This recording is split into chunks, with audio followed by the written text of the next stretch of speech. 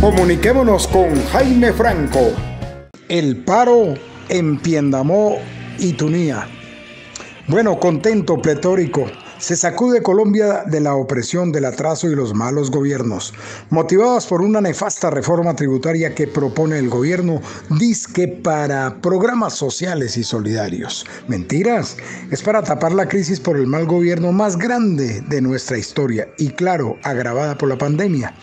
Reforma tributaria que condena a los pobres a morir de hambre y a la clase media a desaparecer o envilecer sus condiciones de vida.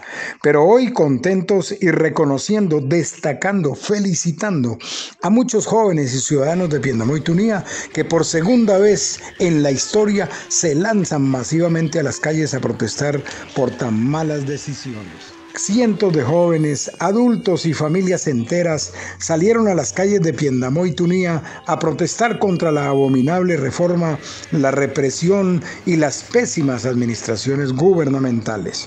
Desde 1979 no se veía esto en Piendamó. En aquella época el pueblo se manifestó y paralizó por las alzas desmedidas de la energía eléctrica. Muy bien muchachos, excelente gente de Piendamó. Estamos despertando del letargo en que nos tiene tienen los partidos tradicionales, los caciques políticos y el atraso ideológico y político. Que esta manifestación sea el impulso para que en el 2022 sepamos elegir bien y cambiar al menos este Congreso de la República que solo legisla para beneficio de los más poderosos.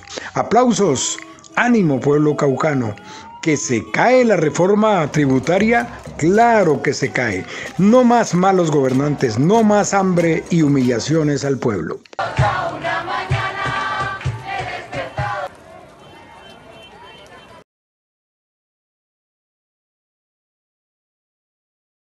Y la emisora jogoneando.org.